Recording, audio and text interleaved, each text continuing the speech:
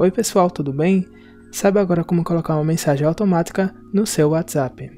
Para isso vamos ter que baixar um app chamado WhatsApp Auto. Vá na Play Store, pesquise pelo app e faça a instalação.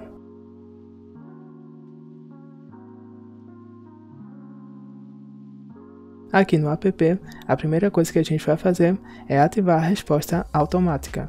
Aperte aqui.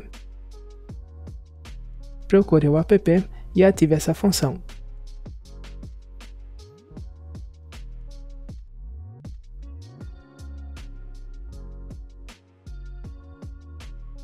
Com a mensagem automática ativada, agora a gente vai criar o texto de resposta. Aqui embaixo você vai encontrar textos pré-definidos, você pode usar qualquer um. Se você quiser escrever um texto do seu jeito, vá aqui nessa opção. Faça um novo texto, Pessoal, você pode colocar essa etiqueta de nome, para que o nome dessa pessoa apareça no texto. E agora eu vou concluir o meu texto. Com o texto feito, por fim aperte em salvar.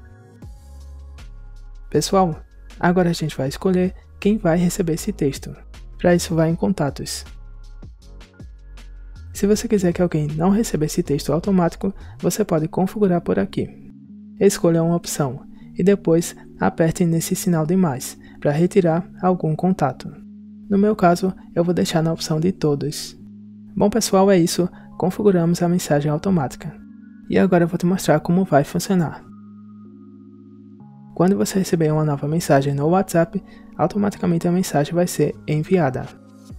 Bom pessoal, é isso, espero que eu tenha ajudado. Deixe seu like, se inscreva no canal. Até o próximo vídeo.